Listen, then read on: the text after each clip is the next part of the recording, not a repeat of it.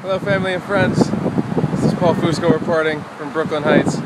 It's the aftermath of Hurricane Irene. Still got some intense winds going on. Not much has fallen except one tree. It's kind of underwhelming. But if you look out into the harbor, there's still some wave action. And it's pretty deserted.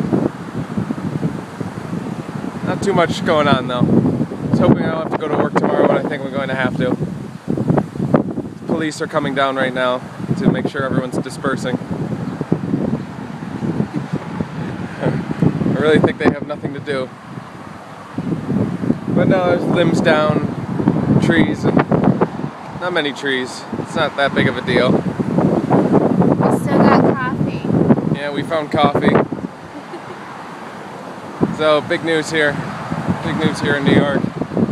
Everyone's pretty much out and about, living life. Watch out, the police are gonna arrest us.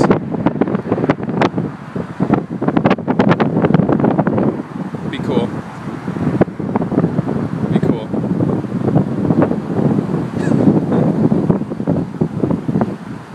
okay, we're clear. Alright. Have a good day. Hopefully, we can get through this horrible weather. Onward and upward, Godspeed.